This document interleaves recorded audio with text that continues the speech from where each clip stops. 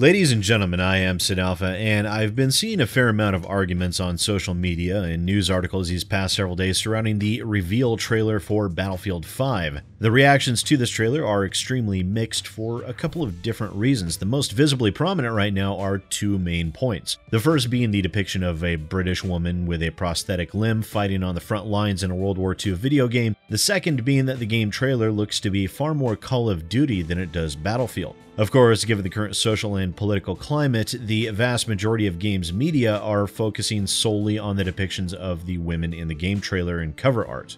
Now, right now, as of recording this video, the release trailer's like to dislike ratio has tipped the balance and is sitting at 52% negative to 48% positive, with the number of views fast approaching 8 million. And as you can imagine, social media has been fairly aggressive as, especially on Twitter, people have vociferously defended DICE's decisions in this regard. Many of those defending DICE's decisions have pointed out how unrealistic video games can be, showcasing bugs and exploits that showed a person riding a horse with a flamethrower and a machine gunner on its back, or a jet pilot leaping out of their jet, shooting a person out of that jet, chasing them, and then grabbing onto and leaping into that jet as it went by. Others are also pointing out examples of celebrated women that did fight in World War II, citing French, Australian, and Russian examples, also the British Queen serving in the motor pool. And one of the more notable examples of women fighting during World War II were the Night Witches, which was the German nickname for the 46th Taman Guards Night Bomber Aviation Regiment, a Russian forces regiment that was comprised of female military aviators that flew night bombing missions in plywood biplanes. These particular women were so hated by Nazi top brass that any German airman that downed one of the Night Witches was automatically awarded the German Iron Cross Medal, and you can thank my mother for being such a World War II buff that I actually happen to know a great deal of this right off the top of my head. However, I am in a position where I know enough about the topic at hand that I'm actually pretty confident that I could argue both sides of this supposed controversy successfully. I could easily defend the developers and their creative decisions based upon their own statements that Battlefield has never been a true to life depiction of history and that being able to play as a character type that you want isn't necessarily a bad thing, as long as you don't have to win these additional characters in a loot box or pay for them as day one DLC. The argument of player choice here would be a somewhat valid design choice. I wouldn't bother to use the three people riding on a horse example like the game's developer did, as it would actually be a straw man defense and would show a misunderstanding understanding of the arguments being presented. But I could argue that these games have never really been about the narrative and are more about the game's mechanics and graphics, and in the case of these games, they have taken liberties with historical narratives in the past. I could also argue against the developer's defense, citing partial revisionism with history, as British regulations at that time forbade women from taking part in frontline combat. I could also argue that with all of the examples provided citing women that did play a role in World War II, the only British examples are of women placed into insurgency roles or motor pool. I could also argue against the three people riding on the horse as being a game mechanic exploit as opposed to historical accuracy when it comes to narrative and characters. I could even argue that true to life events deserve to be treated with greater respect than to be injected with a dose of revisionism in order to include for inclusion's sake, not to promote or celebrate the real life people that fought and died during a horrific point in human history. I could, if I was so inclined, make a reasonably compelling argument for and against both sides of this current debate, but that's not really why I'm here. No, I'm actually here to discuss how games journalism is handling what is slowly devolving into one big mess. And you know, I've always tended to put the ideals of what a journalist should be up on a bit of a pedestal, enshrined with ideals like objectivity and a duty to the truth above and beyond one's own personal beliefs. I myself have deliberately avoided being labeled a journalist like the plague, shying away from it like a vampire shies away from a cross that has been festooned with garlic steeped in holy water. The reason for that is I've never gone to school for any of this. I'm not an educated or trained journalist. I'm not recognized by any organizations. I hold no valid press credentials. And to my mind, I'm just a mook with a mic who happens to have a sexy voice and an overdeveloped sense of ethics and responsibility. And while that is the case, I do still try to uphold the ideals of objective journalism. I know that I don't always succeed, but I get it right more often than I get it wrong in that regard. And it is that sense of duty is why I'm not arguing my case for either side of this debate. It's not my place to convince you, the viewer, to accept one side or the other. It's up to me to present to you the facts and how I interpret those facts, and that's basically where my responsibility ends. I provide the information and then I do my best to provide an analysis of that information from the basis of my own experience. And from there, it's then your responsibility to come to the conclusion that is right for you based on the information provided. Whether you agree, disagree, or decide that you still need to gather more information or that you just don't care.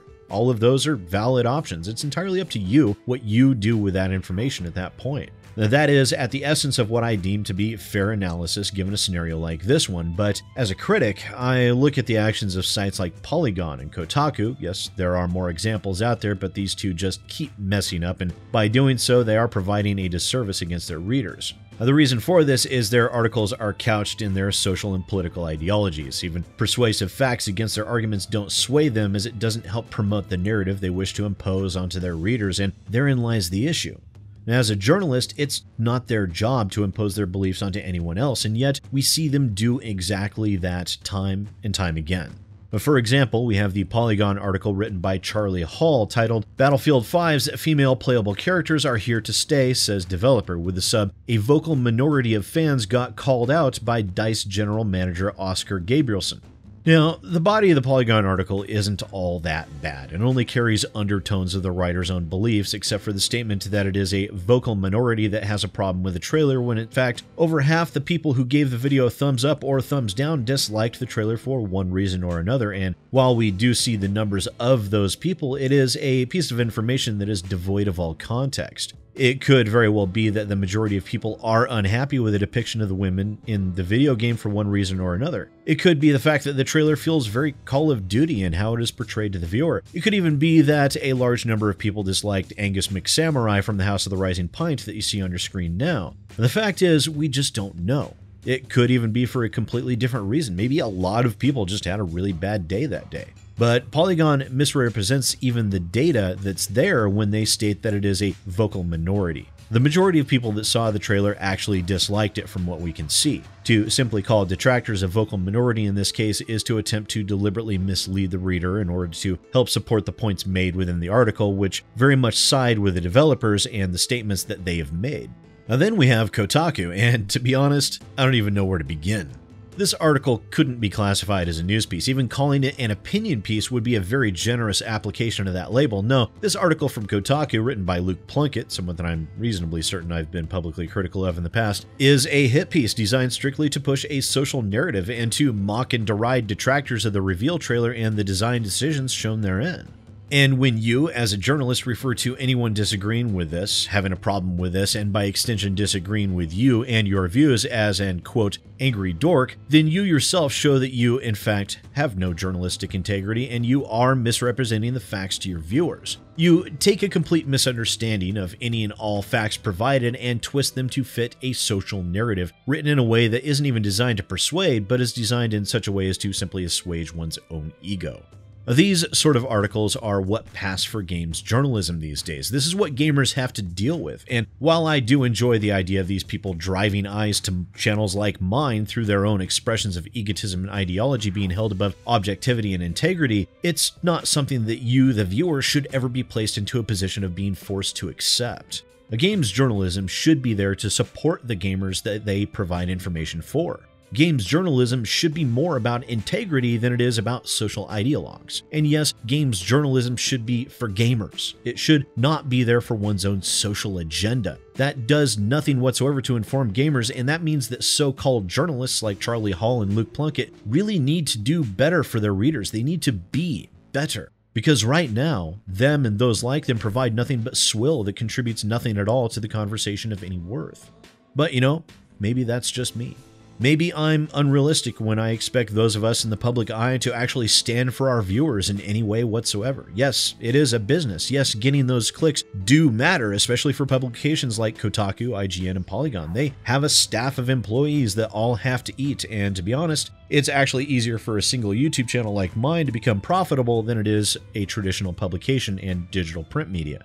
But wouldn't it be better to show a little moral fortitude and show that you won't always place your social ideologies above the good of your readers? Wouldn't it create, a, I don't know, maybe a little brand loyalty if your readers knew that they were more valued than a political narrative? Wouldn't it be better if you place those that support your publications by providing you with their clicks and their shares to know that providing them with information was a higher priority than sucking up to the developers of the games you cover. I certainly would like to think so, but then again, what do I know? I'm just a mook with a mic, and from the standpoint of these publications, I probably don't even know what I'm talking about. But once again, ladies and gentlemen, I am Sid Alpha, and I'll see you next time.